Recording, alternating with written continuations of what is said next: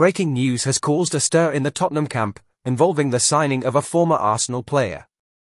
This unexpected name has already sparked divided opinions and intense discussions. The announcement of the interest in this signing has taken everyone by surprise, given their previous association with our rivals. So, let me give you all the details of this news that is already making waves across all Tottenham's social media platforms. And to ensure you don't miss any updates, it's crucial that you subscribe to our channel. Now, let's get straight to the big news. Tottenham Hotspur has just been given the green light to sign an Arsenal youth star, and it's a move that has been eagerly anticipated by fans on both sides of the North London rivalry. According to Sport Bild, Bayern Munich is set to act seven of its stars this summer, including some big names like Leroy Sane, Leon Goretzka, and Joshua Kimmich.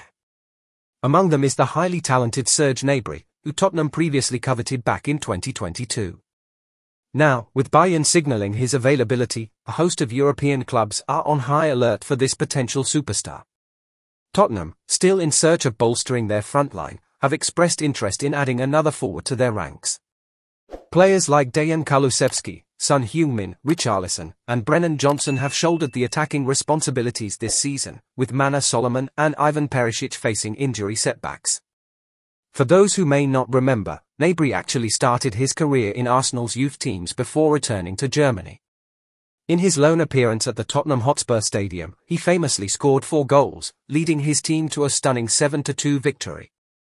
Now, the 28-year-old German international is valued at 45 million euros according to Transfermarkt. This potential signing could bring immense firepower and excitement to Tottenham's attack, and it's a move that could finally bridge the gap between the two rival clubs. So, Tottenham fans, what do you think about the possibility of signing Serge Gnabry? Is he the missing piece in our puzzle? Share your thoughts in the comments below, and don't forget to hit that like button and subscribe to our channel for more exclusive news and updates. Until next time, come on you Spurs!